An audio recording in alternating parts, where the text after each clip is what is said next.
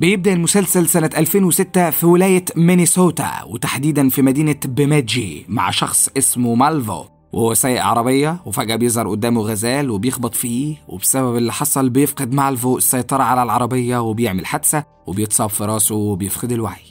وفجأة شنطة العربية بتتفتح وبينزل منها شخص باين عليه الخوف وبيجري بأقصى سرعة ناحية الغابة علشان يهرب من مالفو. وتاني يوم بنشوف ليستر موظف شركة التأمين وهو قاعد بياكل مع مراته بيرل. وبتكون بيرل شايفة إنه شخص فاشل ومش قد المسؤولية وطول الوقت بتستهزأ بيه وبتقول له إن أخوه تشاز أحسن منه لأنه معاه فلوس كتير. وبيتضايق ليستر من كلامها وبيسيبها وبيروح الشغل. وهناك بيقعد مع اتنين من العملاء بس مش بيقدر يقنعهم إنهم يشتروا من الشركة بتاعته. وأثناء ما كان ليستر في طريقه للبيت بيتوتر جدا لما بيشوف صديقه القديم سام قدامه لأنه دايما بيسخر منه ومش بيحبه. وبيحاول ليستر يتجنب الكلام معاه لكن سام بيفضل يتنمر عليه هو وأولاده وبيكون على وشك إنه يسدد له لكمة. ولما ليستر بيحاول يتفاداها بيتخبط في إزاز محل وبيتصاب في مناخيره. وبعدها بيروح المستشفى عشان يعالج جرحه. وبالصدفة مالفو بيبقى موجود في نفس المكان. وبيقعدوا يتكلموا وبيتعرفوا على بعض. ولما مالفو بيعرف إن في شخص اتعرض لليستر وكان بيسخر منه بيتضايق جدا لإنه ما قدرش يدافع عن نفسه. وبيفهمه إن اللي عمل كده يستحق إن حياته تنتهي. وبيعرفوا إنه هيخلص عليه وهيعاقبه على كل اللي عمله معاه. وقتها ليستر بيستغرب جدا لكن مش بياخد كلامه بجد وبيسيبه وبيمشي.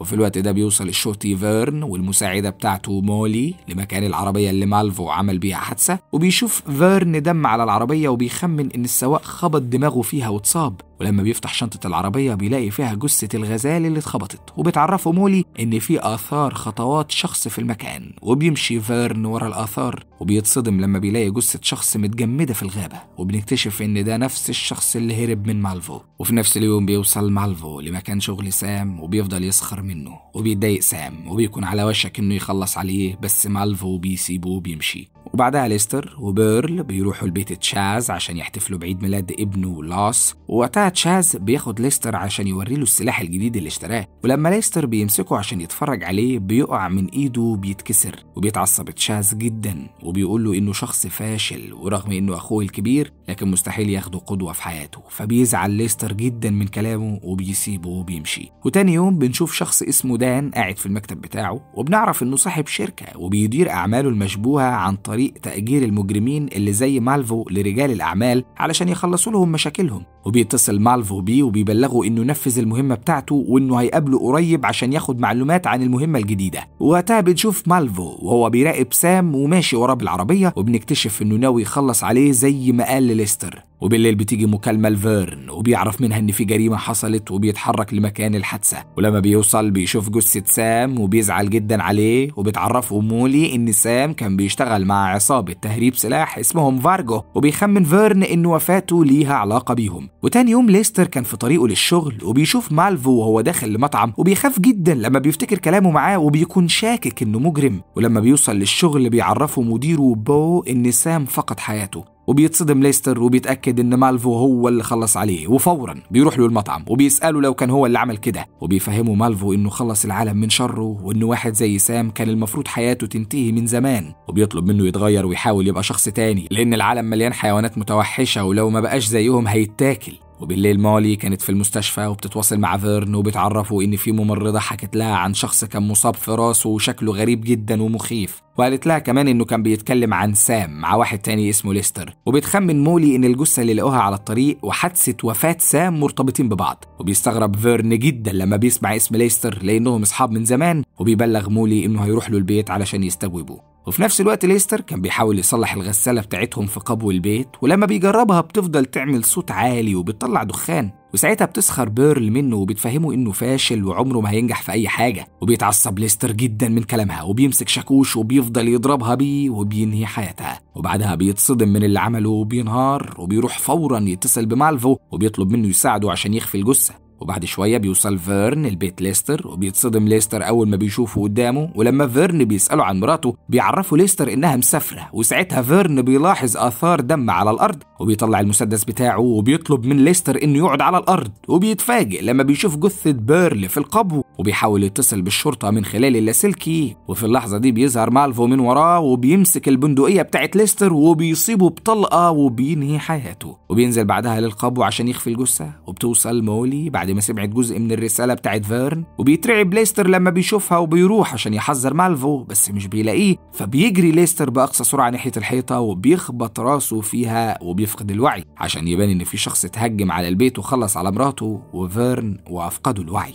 وبعدها مالفو بيسرق عربية ليستر وبيهرب وفي الطريق بيوقفوا شرطي من مدينة ديالوث اسمه جريملي بسبب سرعته وبيفهموا مالفو إنه سارق العربية ومش معاه أوراق وبيهددوا إنه لو ما سابوش يمشي هيخلص عليه هو وعائلته فبيترعب جريملي من كلامه وبيسيبه يمشي. وتاني يوم بيفوق ليستر في المستشفى وبيكتشف إنه اتصاب في إيده بشظايا من وقت الحادثة وبيطمن إن الشرطة مش شاكة فيه. وبعد كام يوم عصابة فارجو بتبعت اتنين من رجالتها علشان يعرفوا اللي حصل مع سام وبيروحوا يتكلموا مع ريك المساعد بتاع سام وبيسألوه عن اللي حصل وبيحكي لهم ريك إن في شخص غريب جه لسام الشغل وعمل مشكلة معاه من غير سبب وبيقول لهم على مواصفاته وبيطلب منهم يوصلوا له في أسرع وقت وياخدوا حق سام. وبعدها مولي كانت في العزا بتاع فيرن وبتتكلم مع الشرطي باب وبتفهمه إنها شاكه إن ليستر متورط في وفاة فيرن وبيعرفها باب إن ليستر كان صديقه في المدرسة وإنه شخص كويس ومستحيل يرتكب جريمة زي دي. وبيخمن إن في شخص كان بيحاول يسرق بيته وخلص على بيرل وضربه لحد ما فقد الوعي. وإن فيرن لما وصل للبيت المجرم شافه وضربه بالنار وأنهى حياته هو كمان. وبيبلغها إنه هيحقق مع ليستر عشان يثبت لها صحة كلامه. وبعد شوية بيوصل باب ومولي لبيت ليستر وبيسألوه عن الشخص اللي كان بيتكلم معاه في المستشفى عن سام وبينكر ليستر إنه يعرفه وبيفهمهم إن الممرضة ممكن تكون سمعت غلط. وبيصدقوا باب وبيسيبه وبيمشي. وفي الوقت ده مالفو بيروح لمكتب بريد وبيستلم طرد جايله. ولما بيفتحه بيلاقي فيه هويته المزيفة الجديدة ومعاها كتاب عن صاحب مجموعة محلات اسمه جاك. وبيعرف مالفو إن جاك هو مهمته الجديدة. وفي نفس اليوم بيروح يقابله وبيحكي له جاك إن في شخص بيهدده عاوز منه فلوس وعشان كده طلب المساعدة من دان. وبيسلمه رسالة التهديد اللي جات له وبيخمن جاك إن مراته هي اللي بتعمل كده. وده لأن في بينهم مشاكل وهي رفع عليه قضية وعايزة تاخد نص أملاكه. وبيطلب من مالفو إنه يوصل للي بيعمل كده ويخلص عليه. وبعدها رئيس الشرطة في مدينة ديلوث بيجتمع مع الضباط وبيبلغهم بالجرائم اللي حصلت في بيماجي وبيطلب منهم يعرفوا مين الشخص اللي مسؤول عن كل الجرائم دي في أسرع وقت. وهنا جريملي بيفتكر اليوم اللي وقف فيه مالفو بسبب السرعة وبيشك إن هو المجرم. وبالليل رجال عصابة فارجو بيروحوا لآخر مكان سام كان فيه قبل ما يتوفى وبيسألوا العمال اللي هناك لو كانوا شافوا الشخص اللي خلص على سام وبيبلغوهم بالمواصفات اللي ريك قال لهم عليها. ووقتها بنت من اللي شغالين بتعرفهم إن في شخص اسمه لاني بيجي يسهر في المكان بنفس المواصفات دي. وبتفهمهم إنها سمعته بيتكلم عن سام كتير بطريقة مش كويسة وبتشاور لهم عليه. وساعتها رجالة فارجو بيربطوه وبياخدوه في شنطة العربية وبيروحوا لريك لكن ريك بيأكد لهم إن مش هو ده الشخص اللي جه لسام. وفي الوقت ده مالفو بيروح يقابل ألين طليقة جاك وبيفهمها إنه محامي جاك وبيفضل يسألها عنه وعن سبب طلاقهم عشان يجمع معلومات أكتر ويعرف لو كانت هي اللي بتهدده ولا لأ. وبيروح مالفو البيت وبيقعد يسمع شرايط التسجيل بتاعته وهنا بنكتشف إنه مسجل المكالمة اللي كانت بينه وبين ليستر وهو بيطلب مساعدته علشان يخبي جثة مراته. وبيروح له سمانكو الحارس الشخصي بتاع جاك وبيسخر منه وبيفهمه إنهم مش محتاجين مساعدته وبيهددوا إنه لو شافه مرة تانية هينهي حياته. وبنعرف إنه متضايق من مالفو جدا لأن جاك طلب المساعدة منه رغم إنه هو أقرب واحد ليه. وتاني يوم العصابة بتاخد ليني لبحيرة متجمدة وبيعملوا حفرة وبيرموه فيها وبيسيبوه وبيمشوا. وبعد كام يوم مولي بتوصل لهوية الجثة اللي لقوها في الغابة وبتروح للشركة اللي كان شغال فيها علشان تحقق في القضية. وهناك بتعرف إن الضحية اسمه فال وبتفهمها صديقته إنها شافت المجرم وهو بيتهجم عليه وبيحتجزه. وبتاخد مولي مواصفاته وبتروح تتفرج على شريط كاميرات المراقبة لكن شكل مالفو مش بيكون واضح فيها. وفي الوقت ده مالفو بيقدر يعرف إن أليكس مدرب الرياضة بتاع ألين هو اللي بيهدد جاك وبيروح يواجهه وبيخاف أليكس جدا وبيفهمه إنه بيشتغل عند جاك وألين من زمان وإنه يستحق مكافأة وبيعرض عليه ياخد نص الفلوس مقابل إنه يسيبه يعيش. فبيقرر مالفو إنه يستغل خوف جاك وبيتفق مع أليكس إنهم يبتزوه وياخدوا منه مبلغ أكبر من اللي هو طلبه. وبعدها جريملي بيكون قاعد في المكتب بتاعه متضايق جدا لأنه سمح لمالفو إنه يهرب وما قبضش عليه وبيبحث عن أرقام العربية اللي كان راكبها وبيتصدم لما بيعرف إنها عربية ليستر وبيخمن إن هو نفس الشخص اللي هجم عليه وسرق عربيته وخلص على مراته. وبيروح لدارين رئيسه وبيحكي له على اللي حصل. وبيتعصب دارين عليه لأنه سمح لمجرم إنه يهرب. وبيهدده إنه هيطرده من الشغل لو ما قبضش عليه في أقرب وقت. وفي نفس اليوم مالفو بيبدأ في تنفيذ خطته وبيدخل لبيت جاك بهدوء علشان محدش يحس بيه وبيبدل العلاج بتاعه بمخدر يخليه صاحي طول الوقت ويمنعه من النوم علشان يتعب له أعصابه ويشتته. وبيخرج من البيت على آخر لحظة قبل ما جاك يشوفه وساعتها جاك بيتصدم لما بيلاقي جثة الكلب بتاعه على الأرض. وهنا بنعرف إن مالفو خلص على الكلب عشان جاك يفتكر إن اللي بيهدده هو اللي بيعمل كده ويخليه يخاف وينفذ كل طلباته. وبعد شوية رجالة فارجو بيروحوا لشغل ليستر وبيسألوه عن سام وده بسبب إنه عمل معاه مشكلة قبل ما يفقد حياته وبيخاف ليستر جدا وبيعرفهم إن سام كان صديقه وإنه مستحيل يأذيه. وفي اللحظة دي بتوصل مولي للمكان عشان تعرف من ليستر معلومات أكتر عن الحادثة فبيخاف رجال العصابة وبيمشوا. وتاني يوم جاك بيتعصب على مالفو لأنه ما قدرش يوصل للشخص اللي بيهدده. فبيطلب منه مالفو إنه يديله شوية وقت وبيعرض عليه إنه يسمح له يبات معاه في البيت علشان يحميه خصوصا بعد ما المجرم قدر يدخل للبيت وينهي حياة الكلبة. وفي نفس الوقت مولي بتروح لمكتب باب وبتسلمه الملف اللي فيه صورة مالفو وبيتعرفوا إن ده الشخص اللي ورا جريمة الجثة المتجمدة وإنها شاكة إنه هو نفسه اللي خلص على فيرن. وبعد شوية بيوصل جريملي للمكان وبيقعد مع مولي وبيفهمها إنه وقف عربية قبل يومين وكان فيها شخص غريب جدا وإنه لما بحث عن العربية اتفاجئ إنها ملك ليستر فبتوري له مولي صورة مالفو وبتفرح جدا لما جريملي بيتعرف عليه وساعتها بتتأكد إن نظريتها صح وإن ليستر متورط في القضية. وبالليل جاك بيدخل الحمام علشان يستحمى وبيترعب لما بيلاقي الدش بينزل دم بدل المية. وهنا بنكتشف إن مالفو هو اللي عمل كده علشان يخوفه ويخليه يدفع الفلوس. وسنة 1987 بنشوف جاك مع مراته ألين وفي طريقهم لمدينة جديدة وبنعرف إنهم كانوا مديونين بفلوس كتير وعشان كده قرروا يهربوا ويعيشوا في ولاية مينيسوتا. وفجأة بتعطل العربية في نص الطريق ومحدش بيساعدهم وبياخد جاك عهد على نفسه إنه هيبقى متدين باقي حياته لو خرج من المشكلة اللي هو فيها. ووقتها بيلاحظ حاجة غريبة في وسط التلج ولما بيحفر فيها بيلاقي شنطة مليانة فلوس وبيفرح جدا إنه دعوته استجابت وبنكتشف إن ده السبب اللي خلاه بقى أغنى واحد في المدينة. وفي الوقت ده بيجي بلاغ لجريملي علشان يحقق في قضية الكلب بتاع جاك وبيوصل للمكان وبيتصدم لما بيشوف مالفو واقف قدامه فبيصوب جريملي المسدس عليه وبيلبسه الكلبشات وبياخده على مركز الشرطة عشان يحقق معاه. وبعد شوية بيتصل بمالي وبيعرفها إنه قدر يقبض على المجرم وبتفرح مالي جدا وبتطلب من باب إنها تروح تحقق معاه. لكن باب بيرفض وبيأمرها تفضل هنا وهو هيروح بنفسه. وفي نفس اليوم ليستر بيروح لبيته عشان يلم حاجته لأنه قرر يبيع البيت بعد اللي حصل. وبيفضل يتألم بسبب الجرح اللي في إيده وبيبان إن حالته حرجة جدا. وبنعرف إنه مش عايز يروح للدكتور لأن لو حد اكتشف إن في شظية في إيده هيتورط في الجريمة وهيعرفوا إنه كان موجود وقت ما فيرن اتضرب بالنار. وبعدها باب بيوصل لمركز شرطة ديلوث وبيقابل دورين وبيسأله عن مالفو وبيستخدم مالفو الهوية المزيفة وبيفهمهم إنه كاهن واسمه فرانك وإنه بيشتغل في كنيسة اسمها لوثر من ست سنين وبيعرفه دورين إنه متهم بسرقة عربية من يومين وبينكر مالفو وبيفهمه إنه كان بيحتفل مع أصدقائه في الكنيسة في الوقت ده وبيروح دورين عشان يتأكد من صحة كلامه وبيتضايق جريملي جدا لأن مالفو بيخدعهم وهيخرج من السجن.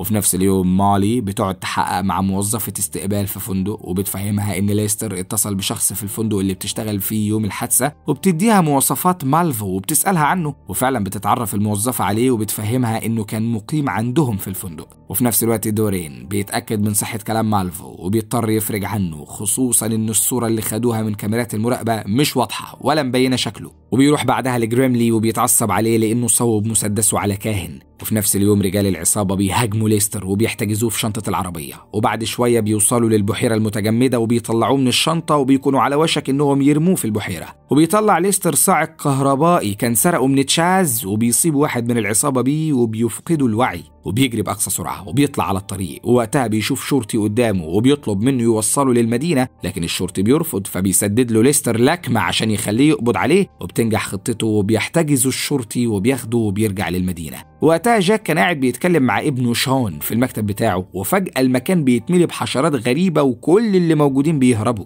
وبيجي اتصال لجاك من الشخص اللي بيهدده وبيطلب منه يدفع له مليون دولار وإلا هيدمر له حياته. وهنا بنشوف مالفو وهو واقف فوق المكان وبيتفرج على كل اللي بيحصل وفرحان إن خطته ماشية زي ما رسمها. وبالليل جريملي بيتكلم مع مولي وبيعرفها إن دورين أفرج عن مالفو لأنهم مش قادرين يثبتوا عليه أي حاجة. وبتعرفه مولي إن ليستر هو الوحيد اللي هيوصلهم ليه. وفي نفس الوقت ليستر كان محتجز في مركز الشرطة بسبب ضربه للظابط وبيتصدم لما بيلاقي رجالة العصابة داخلين معاه نفس الزنزانة. وبنعرف إنهم عملوا مشكلة مزيفة علشان يتم القبض عليهم ويدخلوا ليستر وبيقعد ليستر يقنعهم انه ملوش علاقة بوفاة سام. وساعتها بيهجم شخص منهم عليه وبيضغط على الجرح اللي في إيده وبيخليه يتألم. وبيعترف ليستر على مالفو وبيفهمهم إنه سرق عربيته وسافر لمدينة ديلوث. وبعد شوية مولي بتروح لباب وبتبلغه إن الشخص اللي خلص على فيرن وسرق عربية ليستر اسمه مالفو مش فرانك. وبتفهمه إن سام هاجم على ليستر وأصابه في وشه يوم حادثة فيرن. وبتخمن إن مالفو كان بيتعالج في المستشفى وقابل ليستر هناك وتعرفوا على بعض. وإن ساعتها ليستر أجره عشان يخلص على سام بسبب اللي عمله معاه وإن في مشكلة حصلت بعدها خلت مالفو ينهي حياة بيرل.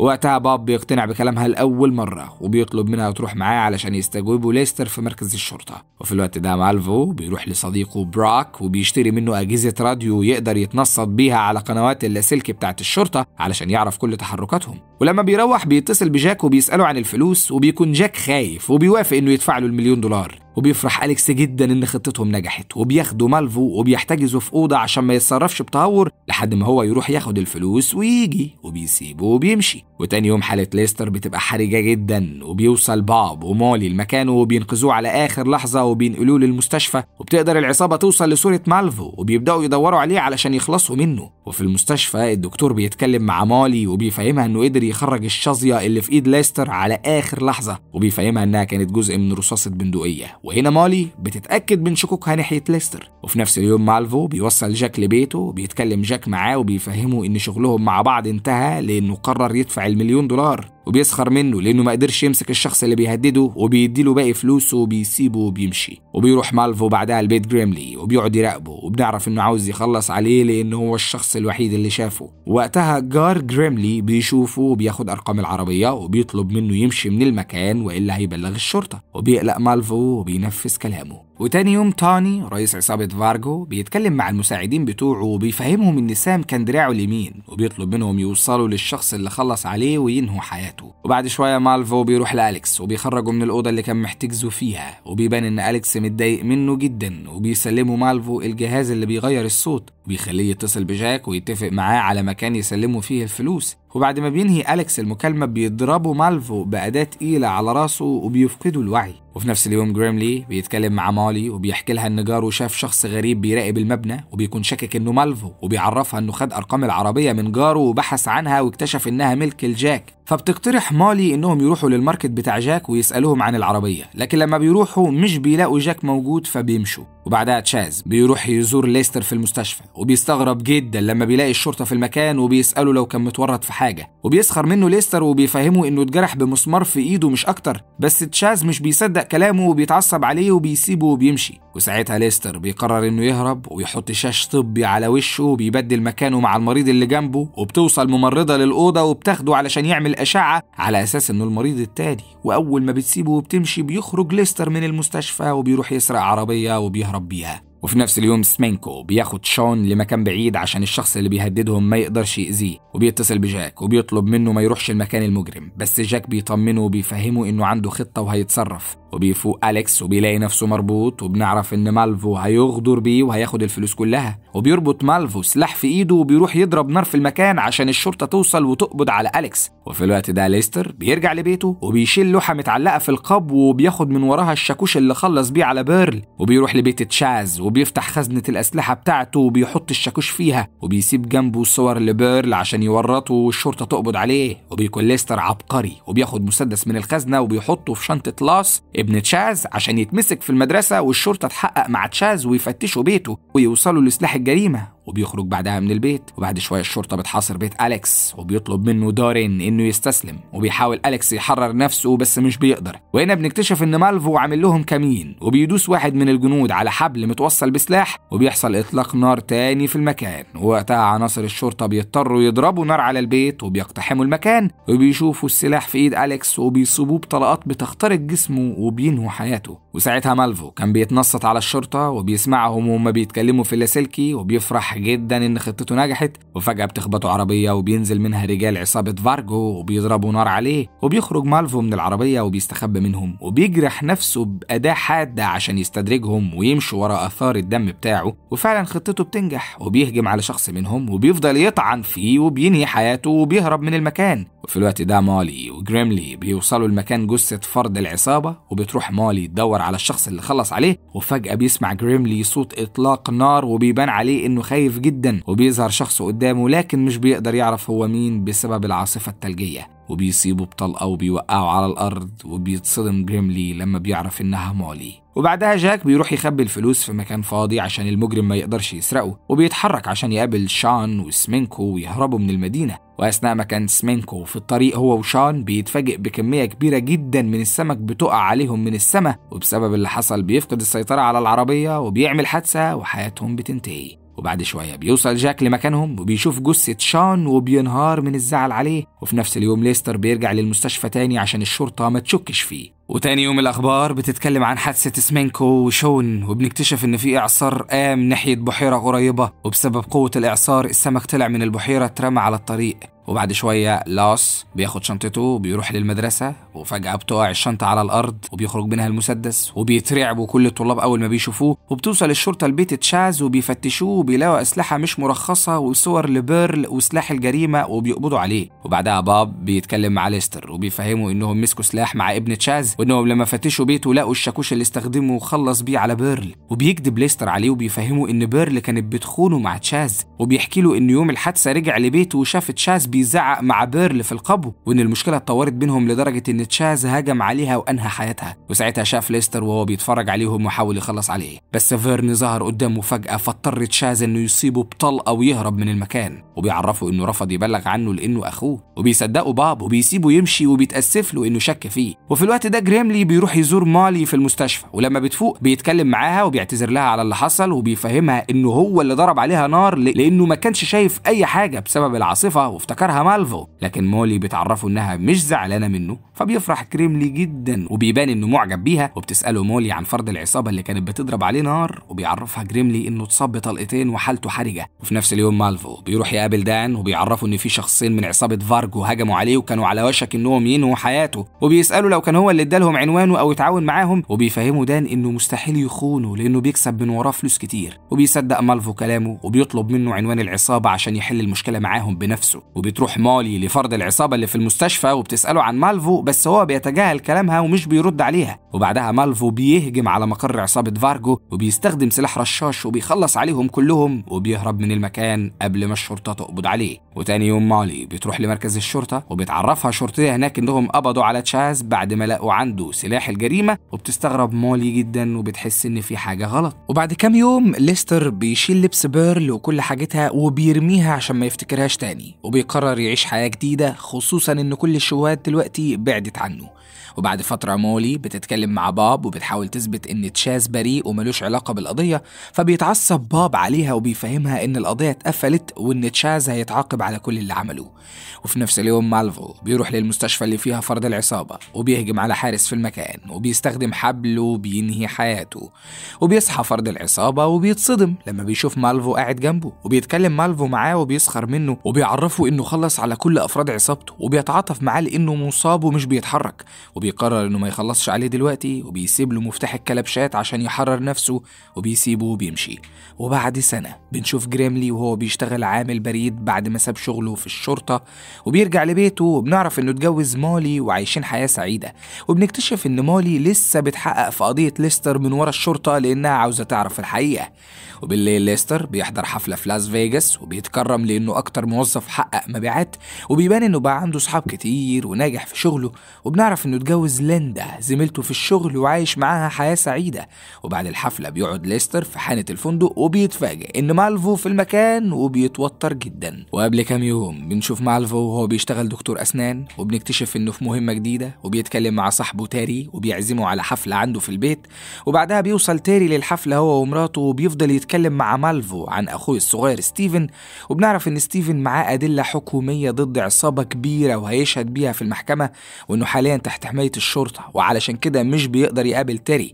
وإن مهمة مالفو الجديدة هي إنه يخلص على ستيفن مقابل 100 ألف دولار. وفي الوقت ده تيري كان قاعد مع مالفو في الحانة وبيفهمه إنه عاوزه يجي معاه وهو رايح يقابل ستيفن وبيعرفه إن الشرطة معينة حراسة مشددة عليه. وبيوافق مالفو وفجأة ليستر بيروح يتكلم معاه قدامهم لكن مالفو بينكر إنه يعرفه لأنه في مهمة ومغير اسمه ومش عاوز يتكشف. وبيسيبه وبيمشي. بس ليستر بيروح وراه وبيركب معاه الأسانسير وبيكشفه قدام تيري ومراته. وفجأة مالفو بيطلع مسدس وبيخلص على كل الموجودين في الأسانسير. وبيتعصب على ليستر وبيفهمه إنه كان بيخدع تيري من ست شهور وهو بوظ المهمة بتاعته. وبينزل بالأسانسير لمخزن الفندق اللي موجودين فيه وبيطلب من ليستر إنه يساعده عشان يخفي الجثث. بس ليستر بيضربه على دماغه بالجايزة اللي خدها وبيهرب من المكان. وتاني يوم بيجي اتصال لمولي وبتعرف منه إن في مجرم خلص على ثلاث أشخاص في لاس فيجاس وإن في شاهد كان بيتكلم مع الضحايا في الحانة قبل وفاته وبتتصدم مولي لما بتعرف إنه ليستر وبتقرر تحقق في القضية. وبعد شوية بيوصل ليستر لبيته وبيطلب من ليندا إنها تجهز شنطتها وبنكتشف إنه ناوي يسافر لمكان بعيد عشان مالفو ما يقدرش يوصل له. وفجأة مالي بتخبط على الباب وبيقلق ليستر جدا أول ما بيشوفها. وبتسأله مالي عن الحادثة اللي حصلت في الفندق ولو كان شاف حاجة غريبة في الحانة بس ليستر بيعرفها إنه خد مشروب وراح للأوضة بتاعته عشان ينام وبيأكد لها إنه ما يعرفش أي حاجة عن اللي حصل. وبتستغرب مولي جدا لأن ليستر رجع من السفر قبل ميعاده وبتفهمها ليندا إن هي اللي قررت إنهم يرجعوا لأنها حست بملل. فبتشكرهم مالي وبتطلب منهم يفضلوا في المدينة وما يسافروش لأنهم هيحتاجوهم في التحقيقات وفي نفس الوقت مالفو كان بيدور على ليستر وبيكتشف إنه عزل من بيته القديم وإنه فتح شركة تأمين خاصة بيه. ولما بيروح يدور عليه هناك مش بيلاقي حد. وبالليل ليستر بيحجز تذاكر السفر وبيكذب على ليندا وبيفهمها إنه حل المشكلة مع مالي وانهم دلوقتي يقدروا يسافروا براحتهم. وفي الطريق ليستر بيعدي على الشركة بتاعته وبيستغرب لما بيلاقي الإضاءة شغالة في المكان خصوصا إن كل الموظفين أخدين أجازة وبيعرف إن في شخص مستخبي جوه وبيكون محتاج جواز السفر بتاعه عشان يقدر يهرب من البلد قبل ما يتورط مع الشرطة.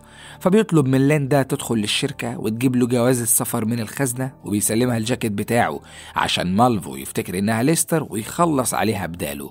وفعلا خطته بتنجح وبيظهر مالفو من ورا ليندا وبيصيبها بطلقة وبينهي حياتها. وبيتصدم مالفو لما بيكتشف إنه خلص على شخص تاني وبيهرب من المكان. وساعتها ليستر بينزل من العربية بسرعة وبيروح للخزنة عشان ياخد جواز السفر بتاعه ويهرب بس بيرجع في كلامه على آخر لحظة لإنه لو هرب التهمة هتثبت عليه. وبيروح لمطعم شارلي وبيقعد هناك ولما شارلي بيسأله عن ليندا وبيعرفوا ليستر إنها بتجيب حاجة وجاية في الطريق وبيطلب أكل ليهم هما الاتنين عشان يبان إنه ما يعرفش أي حاجة وبيخدع شارلي وبيقول له إنه هيدخل الحمام. بس بيخرج بهدوء من باب المطعم الخلفي وبيتصل بالشرطة من تليفون في الشارع وبيبلغهم بمكان الجريمة وبيرجع يقعد في مكانه تاني.